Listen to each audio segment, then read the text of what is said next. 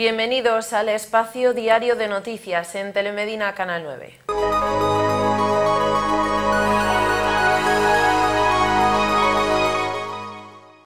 Servitrama Transportes te ofrece esta sección.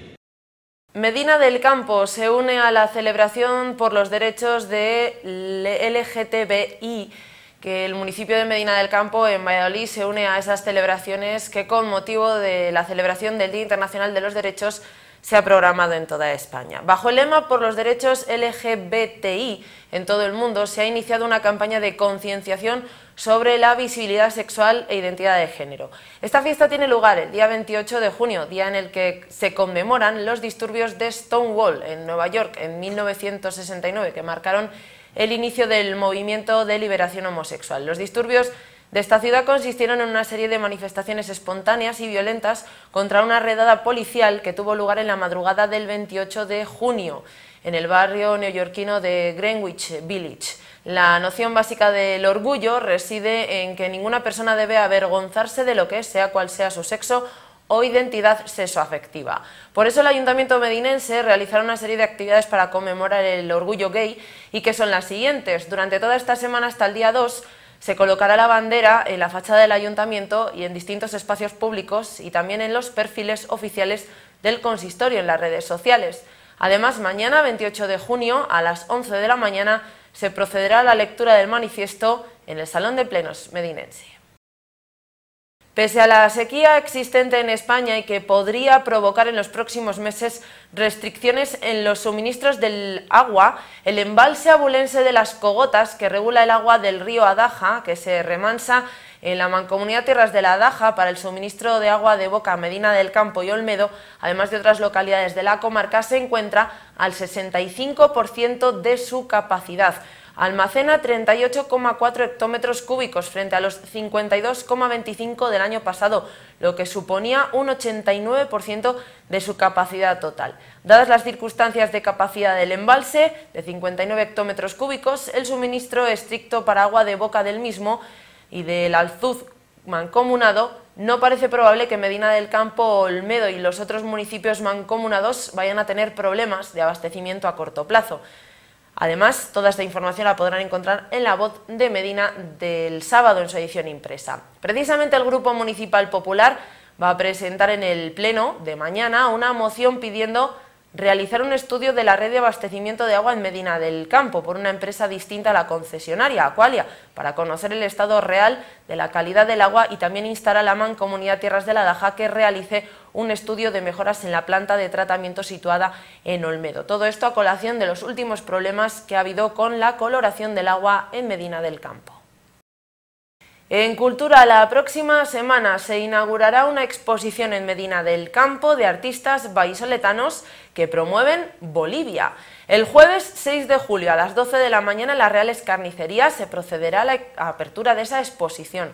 Después habrá dos conferencias más el día 6 y el 20 de julio a las 11 de la mañana en el Salón de Plenos del Ayuntamiento. Las conferencias versarán sobre la pobreza, el problema planetario y los hombres nuevos a cargo de Nicolás Castellano, que es presidente de la Fundación Hombres Nuevos, Premio Príncipe de Asturias de la Concordia en 1998. La conferencia del día 20 de julio además tendrá una proyección de un documental en las calles sin nombre.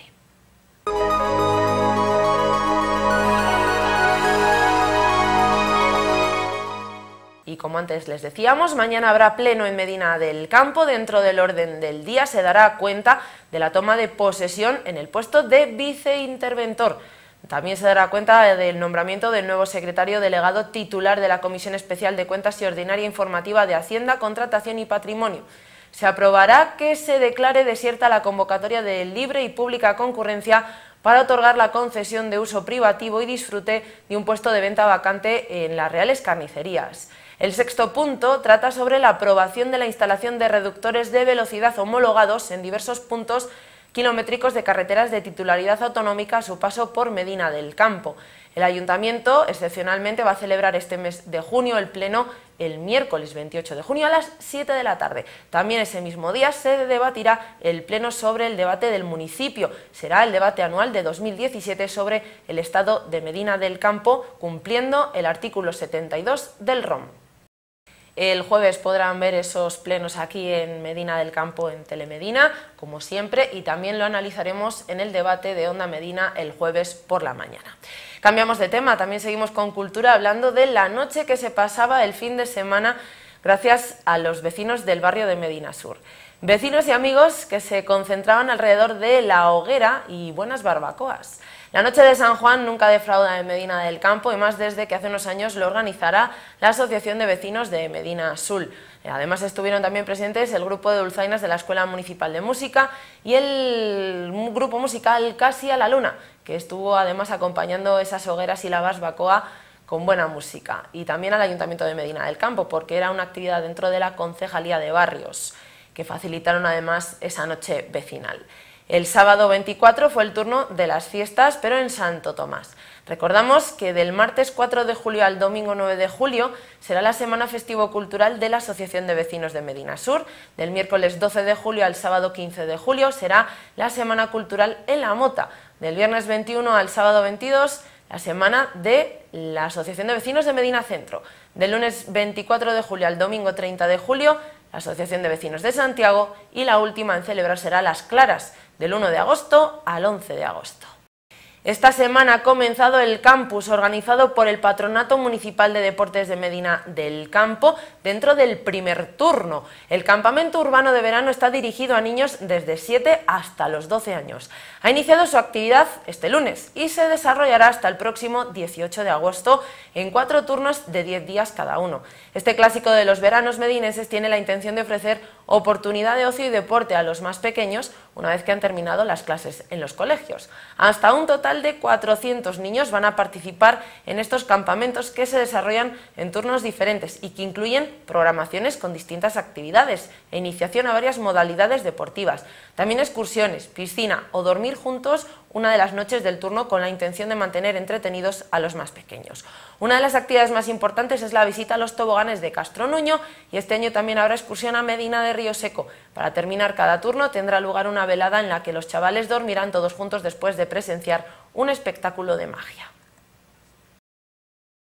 La Concejalía de Urbanismo ha recepcionado el pasado viernes esas obras de las pistas de pádel descubiertas situadas en el Polideportivo Pablo Cáceres. El ayuntamiento ha emitido un vídeo promocional. Con estas obras se pretende dar cobertura a una demanda de los ciudadanos en cuanto a las instalaciones deportivas que hay en la Villa de las Ferias, en una actividad que está ganando adeptos en los últimos tiempos.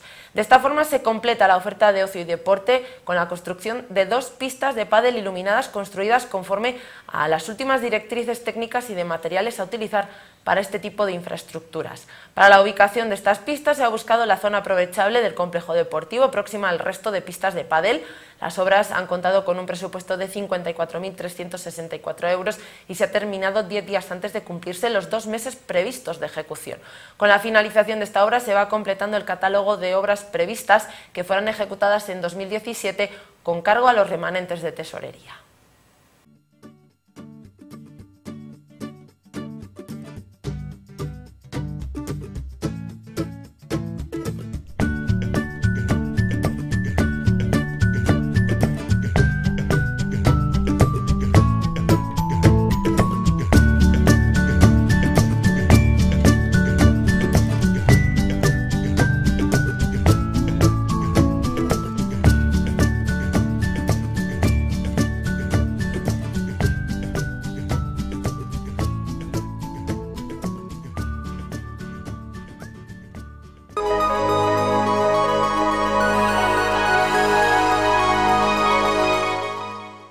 Patatas Meléndez, pasión por la calidad. Patrocina este espacio. Y allí nos quedamos en Fresno el Viejo porque mañana será un día importante de preparativos, aunque el día grande será el día 29 de junio. Se celebra la jornada de convivencia organizada por la Federación Provincial de Asociaciones de Jubilados y Pensionistas de Valladolid, que en esta ocasión cuenta con la colaboración de la Asociación de Jubilados y Pensionistas San Agustín y del Ayuntamiento de Fresno. Se celebra el día 29, pero mañana será un día de muchos preparativos. Contará con la presencia de cientos de visitantes pertenecientes a las diferentes asociaciones de la Federación.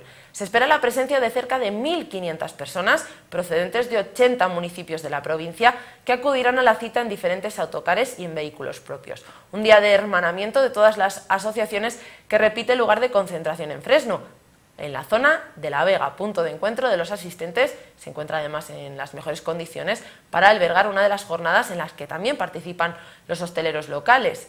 Han presentado diferentes menús a unos precios económicos para quien quiera disfrutar de ellos como alternativa a la paella que se ofrecerá por parte de la organización.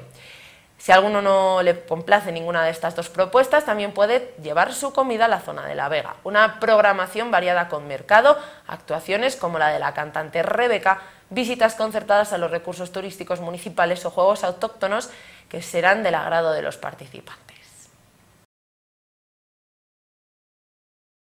Y este fin de semana la localidad de Mojados acogerá un espectáculo de videomapping único en el marco del evento Mojados Corazón de un Imperio que se celebra durante el primer fin de semana de julio y que se celebra con la llegada de Carlos V al municipio hace 500 años. En concreto, regresará este fin de semana al Renacimiento para recibir al emperador V de Alemania, primero de España, y a sus hermanos Leonor y Fernando en la recreación histórica Mojados Corazón de un Imperio. Durante el fin de semana, cientos de vecinos y visitantes se vestirán de época. Una de las novedades de esta edición es el espectáculo de luz, Maypin y Circo, creado exclusivamente para Mojados por Rodrigo Tamariz, artista vallisoletano pionero en este tipo de espectáculos con los que ha viajado a países como Uruguay, Colombia, México o Ecuador. La representación se llevará a cabo dos veces en la Plaza de Santa María. El primer pase será a las doce y media de la, de la madrugada del sábado con pirotecnia y la segunda está prevista para el domingo. Contará con la participación del grupo Cul de Sac y el coro de los alumnos del Instituto Rivera del Cega. El espectáculo que participa en el Festival de Videoarte y Mapping de Castilla y León contará con una tecnología única en España en sistemas de proyección láser de unos 30.000 lumens. Va a ser un espectáculo, dicen desde la organización, sensacional. Por cierto, que en Medina del Campo estamos ya en plenos preparativos también de la Semana Renacentista. Por ejemplo, no nos olvidamos de algunas asociaciones como los arqueros medinenses, que han estado en las Alfonsadas en, en Calatayud, promocionando la Semana Renacentista este pasado fin de semana. La cosecha 2016 de los vinos de la Deo Rueda obtiene la calificación de muy buena. Pedro Ballesteros, el único Master of Wine español, ha sido el encargado de dar lectura a la valoración del Pleno del Consejo Regulador de la Deo Rueda, que ha calificado la cosecha del año pasado como muy buena. Una valoración realizada después de estudiar el informe y los resultados del Comité de Cata de los Vinos de la Cosecha, analizados desde el pasado mes de noviembre. Según los datos de ese informe, las condiciones de madurez han dado como resultado vinos intensos, con buenas condiciones de estructura en boca, dadas las condiciones de graduación y acidez registradas, consiguiendo que el carácter varietal del averdejo esté presente claramente en los vinos, manteniendo un buen nivel. Los expertos confirman la calidad de los vinos elaborados con la variedad autóctona de la zona. La DEO Rueda aglutina en el 40,5% de las ventas en España de vino blanco de calidad. Además, Rueda es la denominación de origen de vino blanco preferida por los jóvenes consumidores españoles, que los consideran frescos, suaves y afrutados, y los asocian al buen tiempo y a los momentos compartidos. Unos atributos muy valorados también entre las mujeres, sector en el que sigue aumentando el consumo de vino blanco de la Deo Rueda.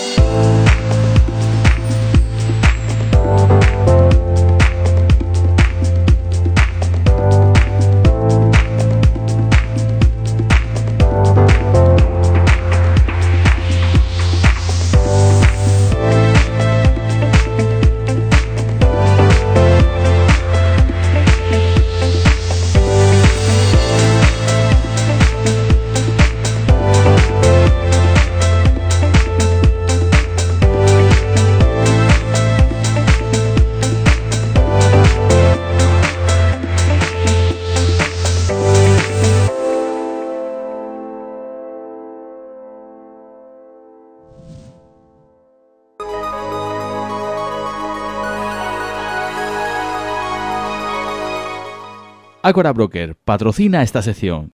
Y como todos los días hacemos el repaso a la prensa comprobando los titulares y noticias que aparecen en los medios digitales y que hablan sobre Medina del Campo y su comarca. Como siempre, empezamos el repaso con la voz de Medina Digital, aunque decirles que hoy es solamente el informativo, el periódico que trae noticias sobre Medina del Campo y su comarca. La voz de Medina dice lo siguiente.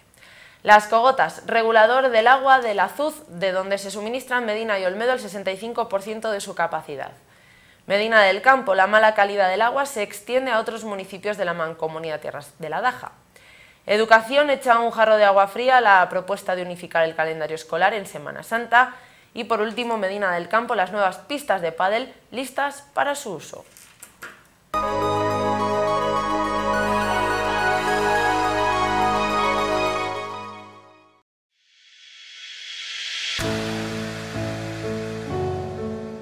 Hace más de 20 años, arrancamos emocionados nuestro primer camión cisterna para dar comienzo a un sueño, Petromás. Y junto a un fuerte equipo hemos sido partícipes del día a día de nuestros vecinos, de sus hogares y de sus negocios. Desde Medina del Campo suministramos gasóleos A, B y C en toda la comarca, allí donde nuestros clientes lo necesiten. Mimando cualquier detalle, ofrecemos un servicio eficaz en el que confiar plenamente durante todo el año. Petromás es un gasocentro independiente y eso nos permite apostar por un servicio mucho más limpio y de mejor calidad. Desde 2012, analizamos nuestra huella de carbono con un triple objetivo. Reducir nuestro impacto medioambiental, aumentar nuestra eficacia y que este compromiso con la sostenibilidad pueda servir de ejemplo. El entorno lo es todo para nosotros, fuera y dentro. Creando una política de conciliación de vida laboral y personal fuimos seleccionados como una de las empresas familiarmente responsables de Castilla y León y, lo mejor de todo, contamos con un equipo humano profesional e ilusionado con cada cliente. Gracias a las personas que confían en nosotros, Petromás está presente en forma de energía positiva en cientos de hogares, negocios y nuevos trayectos. Juntos, somos más. Más calefacción.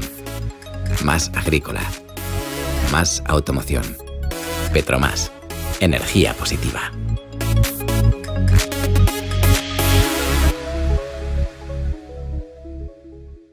En cuanto a la previsión del tiempo, se presentan tres días por delante de tormentas, principalmente mañana por la mañana y el jueves por la tarde. Ya el fin de semana hará mucho mejor según las valoraciones de la Agencia Estatal de Meteorología. De momento esta semana temperaturas más suaves, incluso vamos a notar una bajada pronunciada el día del jueves, con temperaturas que no van a sobrepasar los 17 grados. Hoy la máxima ha sido de 26, la temperatura mínima ha sido de 15. Cielos cubiertos, hemos notado alguna presencia de chubascos débiles, muy muy débiles, en la comarca de Medina del Campo a la hora del mediodía, aunque la nubosidad ha sido la tónica habitual de la jornada del día de hoy. Para mañana amaneceremos de nuevo con cielos encapotados, tormentas en la primera mitad del día, por la tarde volverá el sol, temperaturas entre los 22 y los 14 grados. El viento permanece tranquilo, eso va a procurar que se estanque esa nubosidad durante los próximos días y hasta el viernes. El jueves por la tarde de nuevo precipitaciones aquí más cuantiosas que el resto de la semana. El fin de semana las temperaturas, por ejemplo el sábado tendremos 21 de máxima, pero el domingo subirán hasta los 27. El domingo será el mejor día de la semana con cielos completamente soleados.